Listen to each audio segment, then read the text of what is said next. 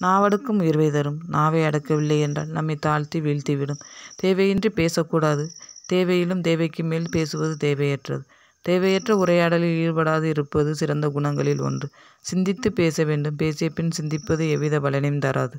ஒருவருக்கு சந்தேகம். இந்த உலகில் ஏன் சண்டை சச்சரவுகள் எப்படி வருகிறது என்று விடைகாண முயற்சித்த போது யாரும் சரியான பதிலை தரவில்லை. ஒரு நாள் வீட்டு வாசலில் ஒரு சன்னியாசி பிச்சை கெட்டு வந்தார்.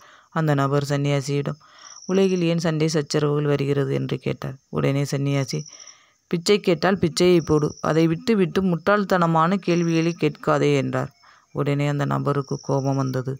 எடுப்பது பிச்சை? இவ்வளவு வாய்க்கொழுப்பா என்றார். சன்னியாசி மௌனமாக இருந்தார். சிறிது நேரம் கழித்து சன்னியாசி பேசத் தொடங்கினார். இந்த உலகில் பிரச்சனைகளுக்கு காரணம் நாம் பேசும் வாய்ச்சொல்தான். நாவை சரியாக பயன்படுத்தினாலே சண்டைகளுக்கு முற்றுப்புள்ளி வைக்கலாம் என்றார். உடனே அந்த நபர் அந்த சன்னியாசியிடம் மன்னிப்பு கேட்டார். நாவடக்கம் நல்ல பண்பு என்பதை உணர்ந்து கொண்டார்.